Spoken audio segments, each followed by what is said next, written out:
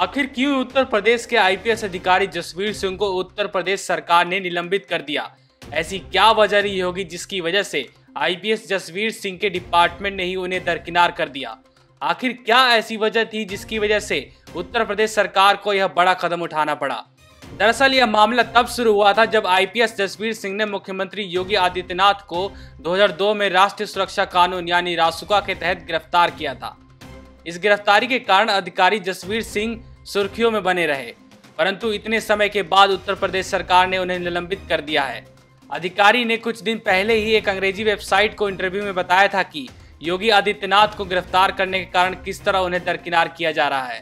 The Hindu की खबर के मुताबिक उत्तर प्रदेश पुलिस प्रवक्ता आर के गौतम ने इस बात को साफ़ कर दिया है कि उन्नीस सौ बानवे कैडर के आईपीएस अधिकारी जसवीर सिंह को निलंबित कर दिया गया है।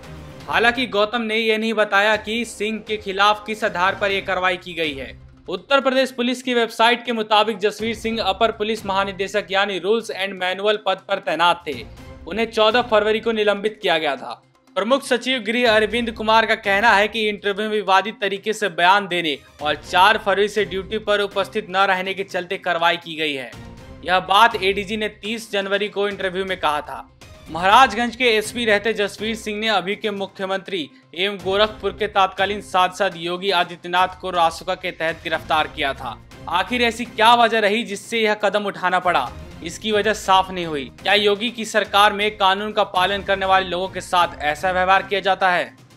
माना जा रहा है कि उन पर केस वापस लेने के लिए कई बड़े लोगों का दबाव था। 30 जनवरी को हफिंगटन पोस्ट में छपे एक रिपोर्ट में सिंह के हवाले से कहा गया कि उन्होंने भारतीय जनता पार्टी के राजनेताओं के दबाव के बावजूद तत्कालीन सांसद के खिलाफ निरोधात्मक नजरबंदी का मामला वापस लेने से इनकार कर दिया था। उस समय भाजपा केंद्र में और बहुजन समाज पार्टी उत्तर प्रदेश में सत्ता में थी।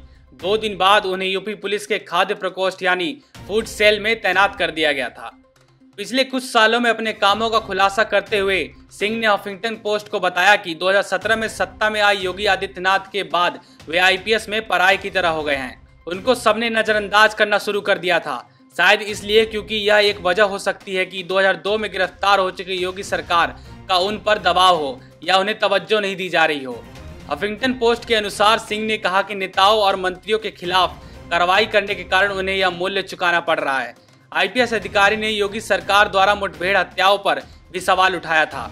सिंह ने न्यूज़ वेबसाइट से कहा कि वे राजनीतिक व्यक्तियों के प्रति वफादारी चाहते हैं। यह पूरी तरह असंवैधानिक है।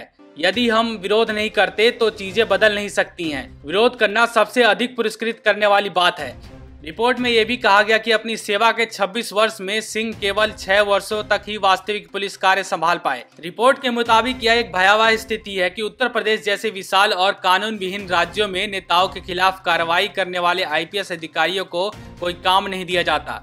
यह कैसी सरकार है? यह कैसा कानून है जहाँ अपने काम को पूरे दिलो जान से करने वाले कानून को मानने वाले लोगों के साथ इस प्रकार का सलूक किया जाता है? योगी सरकार में इस प्रकार से कई घटनाएँ होती रही हैं जिसकी लिस्ट काफ़ी बड़ी है और जिनका खुलासा भी नहीं हो सका। सालों पहले अरेस्ट होने का शायद एक बदला हो सकता है जो योगी ने लिया।